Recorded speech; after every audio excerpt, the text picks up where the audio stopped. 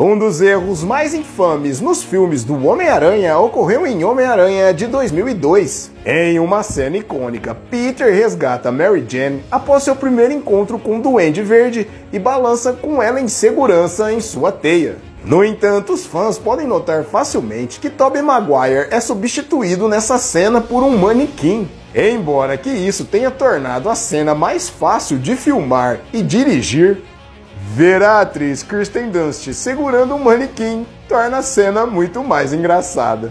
Embora o Homem-Aranha seja tipicamente um herói cheio de humor e piadas, uma vez ele já desejou ser mais intimidador como o Cavaleiro das Trevas de Christian Bale.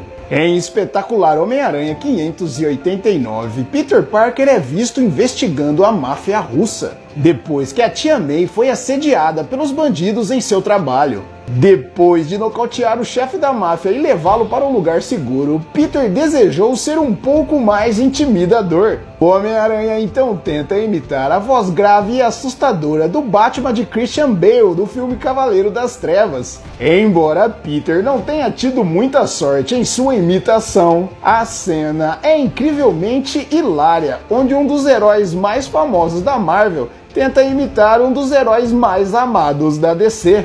E antes que a história termine, Peter tenta mais uma vez imitar a voz do Batman. E desta vez, tendo mais sucesso, ele consegue meter medo em um dos outros capangas. E ele até comenta que os vilões são realmente muito supersticiosos e covardes. A maioria dos fãs dos filmes do Homem-Aranha estão cientes de uma das cenas mais icônicas do filme Homem-Aranha 2 onde Peter Parker quase se sacrifica para salvar um trem cheio de passageiros e depois é protegido por eles.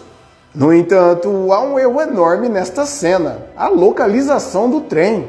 O trem em que a cena ocorre é elevado acima do solo.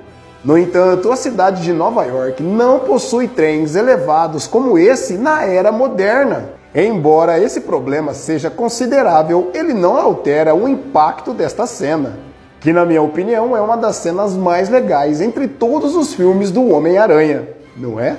A força total do Homem-Aranha nunca foi mostrada nos filmes antes, mas isso tem um bom motivo pois ele poderia ferir gravemente ou até matar pessoas. O Homem-Aranha tem força sobre-humana, mas ele não a usa totalmente quando enfrenta os seus oponentes. O Dr. Octopus percebeu isso quando se tornou o Aranha nos quadrinhos. O Spider já usou sua força para coisas como parar um trem em Homem-Aranha 2 ou contra oponentes que aguentam os seus golpes, como o Duende Verde. Ainda assim, o Aranha não deseja matar nenhum bandido.